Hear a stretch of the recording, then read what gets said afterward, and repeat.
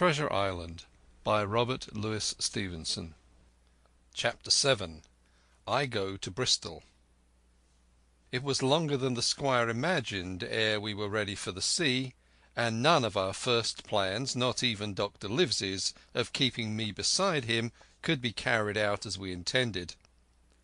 The doctor had to go to London for a physician to take charge of his practice; the squire was hard at work at Bristol; and I lived on at the Hall under the charge of old Redruth, the gamekeeper, almost a prisoner, but full of sea dreams and the most charming anticipations of strange islands and adventures.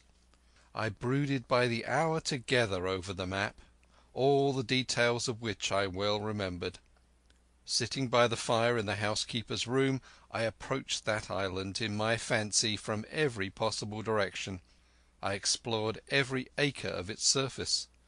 I climbed a thousand times to that tall hill they called the Spy Glass, and from the top enjoyed the most wonderful and changing prospects. Sometimes the isle was thick with savages, with whom we fought; sometimes full of dangerous animals that hunted us; but in all my fancies nothing occurred to me so strange and tragic as our actual adventures. So the weeks passed on till one fine day there came a letter addressed to Dr. Livesey, with this addition: "To be opened in the case of his absence by Tom Redruth or young Hawkins." Obeying this order we found, or rather I found—for the gamekeeper was a poor hand at reading anything but print—the following important news: Old Anchor Inn, Bristol, March 1, 17— Dear Livesey,—As I do not know whether you are at the Hall or still in London, I send this in double to both places. The ship is bought and fitted. She lies at anchor ready for sea. You never imagined a sweeter schooner. A child might sail her. Two hundred tons. Name Hispaniola. I got her through my friend Blandly, who has proved himself throughout the most surprising trump. The admirable fellow literally slaved in my interest, and so, I may say, did everyone in Bristol as soon as they got wind of the port we sailed for—treasure, I mean." "Redruth," said I, interrupting the letter. "Dr. Livesey will not like that. The squire has been talking after all." "Well, who's the better right?" growled the gamekeeper.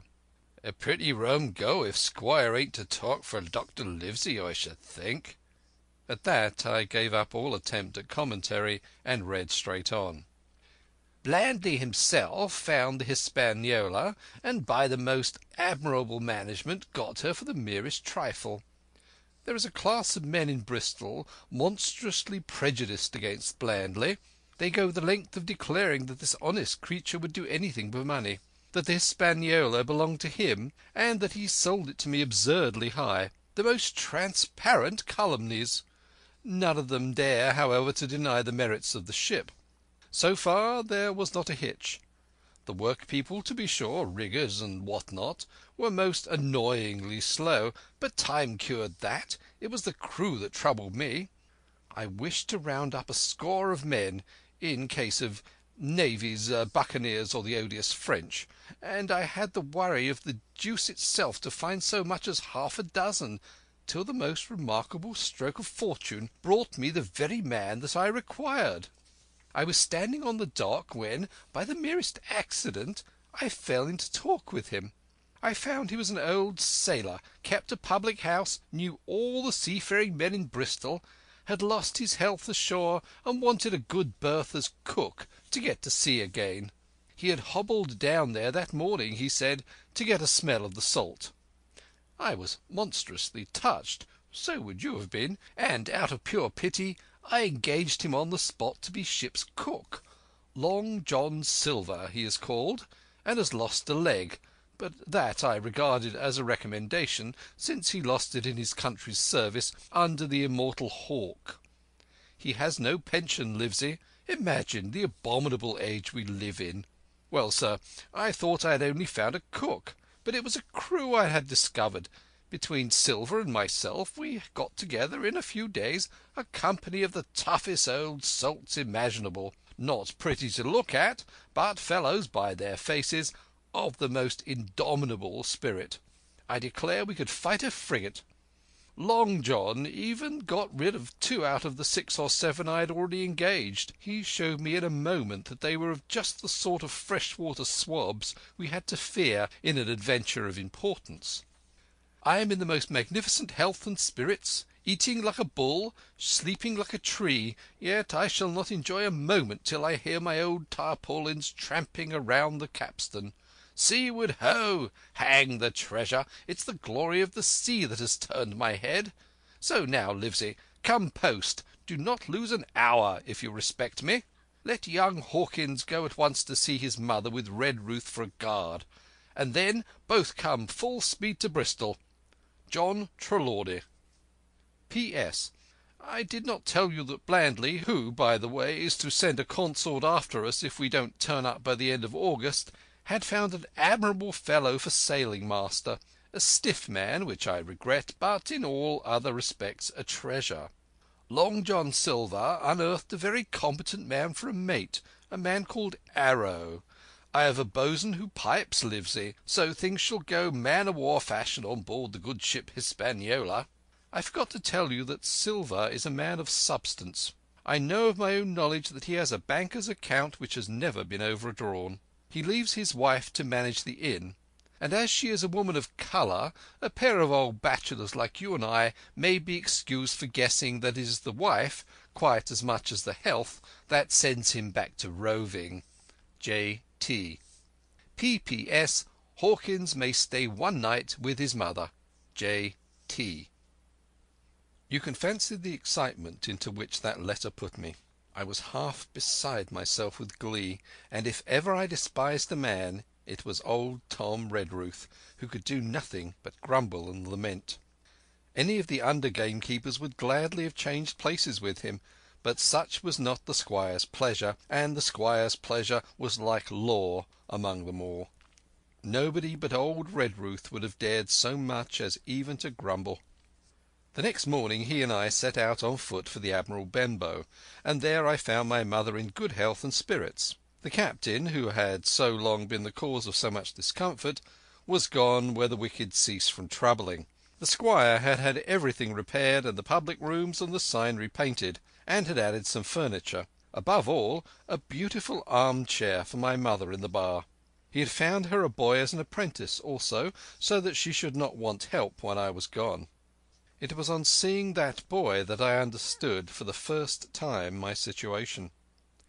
I had thought up to that moment of the adventures before me, not at all of the home that I was leaving; and now, at sight of this clumsy stranger who was to stay here in my place beside my mother, I had my first attack of tears.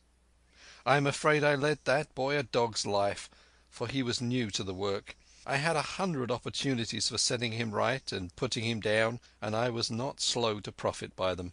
The night passed, and the next day, after dinner, Redruth and I were afoot again and on the road. I said good bye to my mother and the cove where I had lived since I was born, and the dear old Admiral Benbow, since he was repainted, not longer quite so dear. One of my thoughts was of the captain, who had so often strode along the beach with his cocked hat, his sabre cut cheek, and his old brass telescope. Next moment we had turned the corner, and my home was out of sight. The mail picked us up about dusk at the Royal George on the Heath. I was wedged in between Redruth and a stout old gentleman, and in spite of the swift motion and the cold night air I must have dozed a great deal from the very first, and then slept like a log, up hill and down dale, through stage after stage. But when I was awakened at last it was by a punch in the ribs, and I opened my eyes to find that we were standing still before a large building in a city street, and that the day had already broken a long time. "Where are we?" I asked. "Bristol," said Tom. "Get down." Mr Trelawney had taken up his residence at an inn far down the docks to superintend the work upon the schooner. Thither we had now to walk, and our way, to my great delight, lay upon the quays and beside the great multitude of ships of all sizes and rigs and nations. In one sailors were singing at their work. In another there were men aloft high over my head, hanging to threads that seemed no thicker than a spider's. Though I had lived by the shore all my life, I seemed never to have been near the sea till then. The smell of tar and salt was something new. I saw the most wonderful figure heads that had all been far over the ocean. I saw besides many old sailors with rings in their ears, and whiskers curled in ringlets, and tarry pigtails, and their swaggering, clumsy sea walk; and if I had seen as many kings or archbishops I could not have been more delighted. And I was going to sea myself—to sea in a schooner, and a piping bo'sun, and pigtailed singing seamen; to sea, bound for an unknown island, and to seek for buried treasure. While I was still in this delightful dream we came suddenly in front of a large inn, and met Squire Trelawney, all dressed out like a sea officer in stout blue cloth, coming out of the door with a smile on his face and a capital imitation of a sailor's walk. "Here you are!" he cried. "And the doctor came last night from London. Bravo! The ship's company complete." "Oh, sir," cried I, "when do we sail?" "Sail?" says he. "We sail to tomorrow." CHAPTER VIII